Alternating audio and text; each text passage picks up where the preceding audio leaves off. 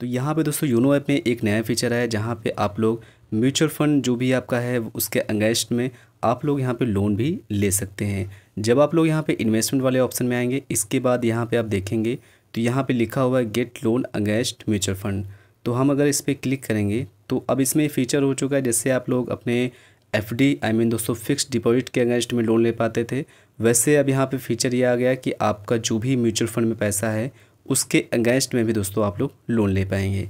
यहाँ पे कुछ एजिबिलिटी हैं जो कि आप देख सकते हैं। यहाँ पे दोस्तों इसकी जो एजिबिलिटी है उसको आप यहाँ पे पढ़ सकते हैं। सारा कुछ यहाँ पे लिखा हुआ है और आप इस तरीके से यहाँ पे जो भी इसका चार्ज है और जो भी चीज़ें हैं वो आप यहाँ पे पढ़ पाएँगे। दोस्तों यहाँ पे सारा कुछ ऑनलाइन ही होगा। आपको कुछ भी फिजिकली करने की ज़रूरत नहीं पड़ेगी। आई I मीन mean, कहीं पर विज़िट करने की आपको ज़रूरत नहीं पड़ेगी। अगर आपको लोन लेना है तो आप इसी तरीके को अपना सकते हैं।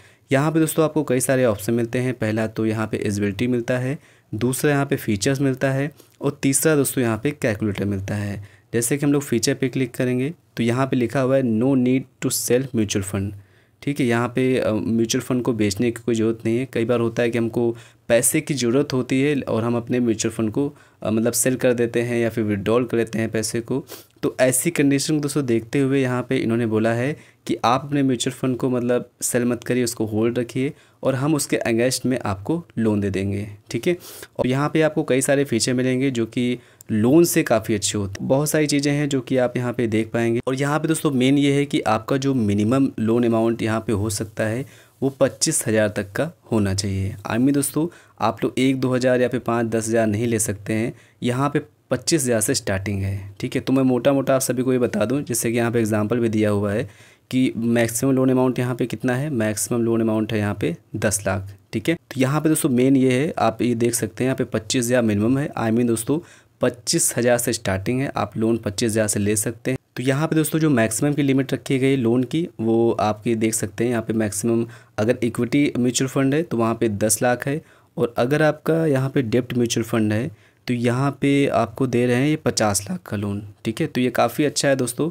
कभी अगर आपको ज़रूरत पड़ती है और वो सेल करने की नौबत आती है या फिर विड्रॉल करने की नौबत आती है तो आप इस तरीके को अपना सकते हैं। यहाँ पे आपको कैलकुलेटर भी दिया हुआ है। आप कैलकुलेटर से आप कर भी सकते हैं। सपोज़ आपके पास अभी दो लाख रुपये है आपके म्यूचुअल फंड में।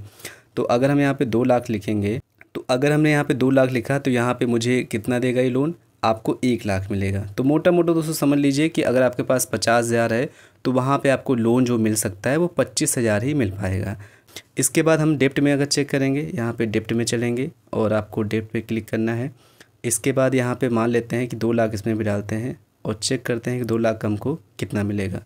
तो अगर आपका डेप्ट के म्यूचुअल फंड में आपने इन्वेस्टमेंट कर रखा है और वहाँ पे उसकी वैल्यू जो इस समय है, वो दो लाख के आसपास है तो यहाँ पे आपको उसका लोन जो मिल सकता है, वो डेढ़ लाख के आसपास मिल जाएगा।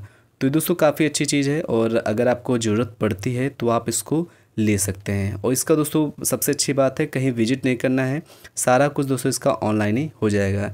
जैसे कि दोस्तों आप यहाँ पे देख पाएँगे डॉक्यूमेंट्स में कि hundred percent digital and no no documentation is required.